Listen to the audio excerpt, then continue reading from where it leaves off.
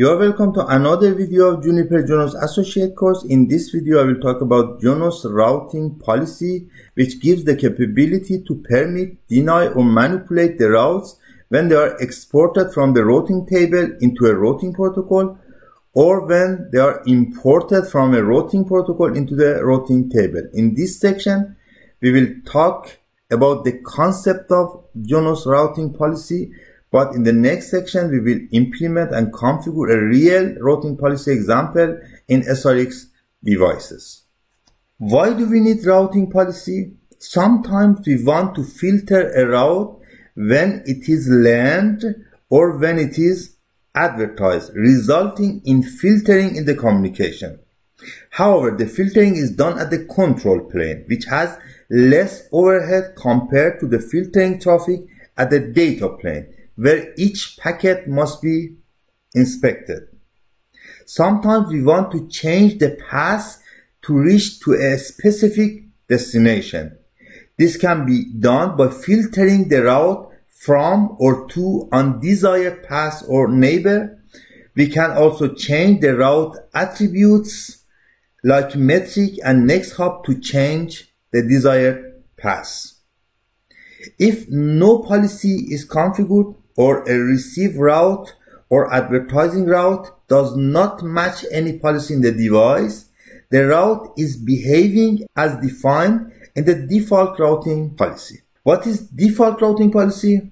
Honestly, we have not learned a lot about dynamic routing protocols in this course and probably this concept does not make sense to remember or to learn all of them, but not bad to hear them at least once.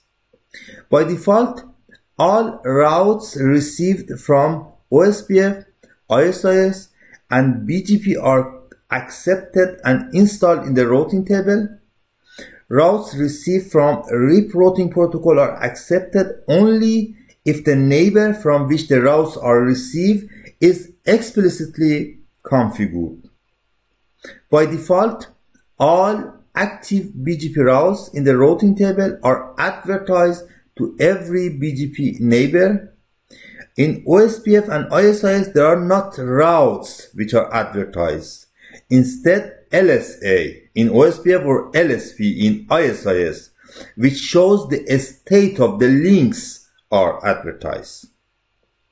And by default, no routes from routing table is advertised to any RIP neighbor.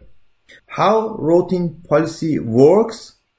Each route policy has a set of rules or terms in Junos terminology. First term, second term, third term, or first rule, second rule, and third rule.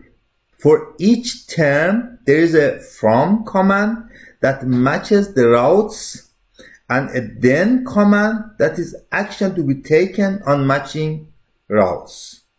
The terms are processed in order and if a route match a term, then the action is taken. The most common way to match a route is by prefix. There are two tools, route filter and prefix list by which we can match the routes by matching the prefixes. We will shortly explain these two tools and the differences. But you can also match the routes from a, a specific routing protocol, route attributes, or next hop address. The most common actions are to permit, deny, or change the attribute of the matching routes. If a route matches a term with these actions, the process then ends. But if the action is next term or next policy, then the route continues to be processed by the next rule or next policy. With both prefix list and route filter, you can match route based on both prefix and subnet mask. There are two differences between these two tools, prefix list and route filter. First, prefix list can be reused in multiple terms or policies. You can write a prefix list and then you can reuse it in different rules. But route filter cannot be reused. It can be used only in one rule in a policy. Second, with prefix list, there is less flexibility to match the subnet mask. You can match the subnet, for example, 192.168.1.0/24 with a mask slash 24 exactly or bigger or longer, but you cannot match subnet mask with, for example, less than slash 32 or between slash 28 and 30. But with route filter, there are more operators, exact or longer, longer, up to and prefix length range.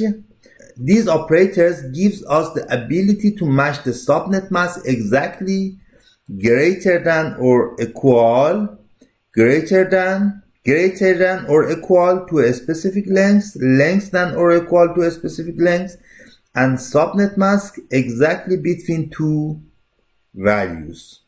To better understand the Junos route policy, here there is an example.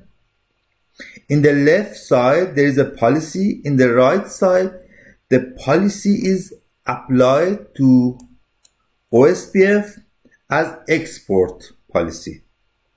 That means when the routes are exported from the routing table to the OSPF routing protocol, then this policy will be applied.